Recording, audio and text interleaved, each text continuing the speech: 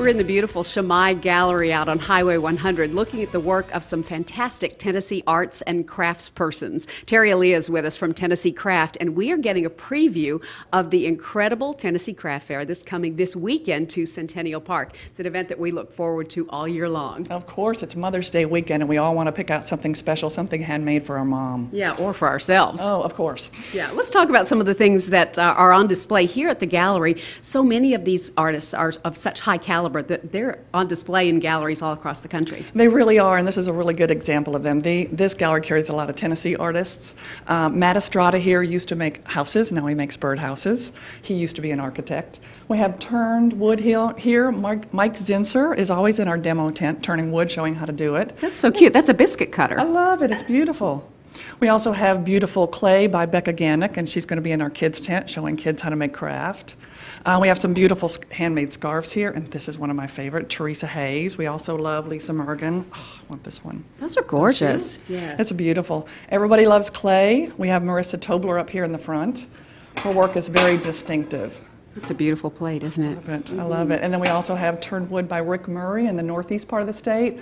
Oil lamps, gorgeous. You can find anything that you want here at this fair. It's all high quality. And so all the artists that we're seeing here at Shamai Gallery are also going to be on display um, this weekend at on the craft this fair. table. This, mm-hmm. this gallery carries lots and lots of Tennessee artists, and we focused on the ones that will show up at our fair art doesn't have to just be decorative, it can also be functional, like these lamps. Absolutely. That's Linda Hobdy, part of the Twisted Sisters. We all love her.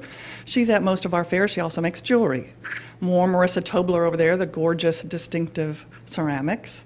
And then we have Donna Rizzo, who often does figurative work. She used to be a dancer, so she knows the body, and she is a hoot. If you go to her, if you go to her booth, you're going to love talking yeah, to her. she's always really fun. She is. And then we have Lissa Kelly here, who does these acrylics and graphite paintings. She moves the paint around with her hands. She uses pencil.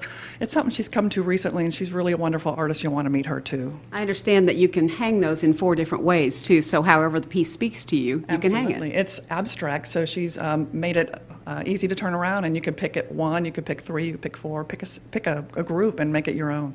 I love the stained glass on display here too, and that's always one of the fun things to see at the craft fair. We have uh, a lot of choices, and this particular one is Tammy O'Connor. She does beautiful work. She mixes it up with different kinds of glass, and she does some botanical prints on the on the glass. Come and see her and meet her and her husband. They're really wonderful people.